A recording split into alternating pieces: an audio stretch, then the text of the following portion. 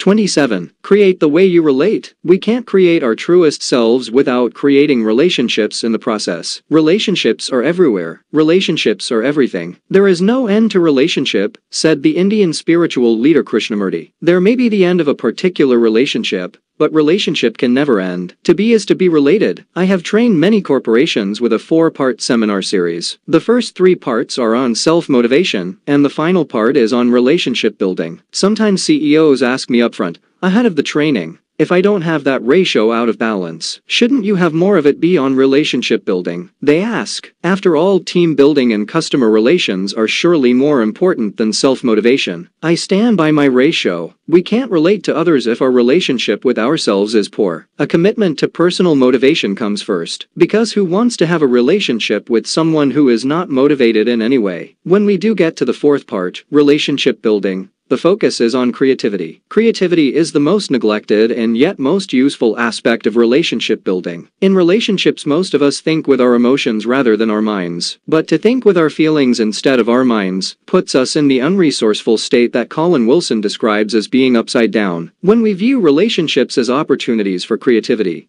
they always get better. When our relationships get better, we are even more motivated. My youngest daughter, Margie, was in fourth grade. When a very shy girl in her class accidentally put a large black mark on her own nose with an indelible marker, many of the kids in the class pointed at her and started to laugh. The little girl was finally reduced to tears of embarrassment. At some point Margie walked over to the girl to give her some comfort. Margie's astonished teacher related this story to me. Impulsively, Margie picked up the marker and marked her own nose, and then handed the marker to another classmate and said, I like my nose this way. What about you? In a few moments the entire class had black marks on their noses, and the shy girl who was once crying was laughing. At recess, Margie's class all went out on the playground with marked noses, and they were the envy of the school obviously into something unusual and cool. This story is interesting to me because of how Margie used her creativity and her mind, instead of her emotions to solve a problem. She elevated herself up into her mind, where something clever could be done. If she had used her feelings to think with, she might have expressed anger at the class for laughing at the girl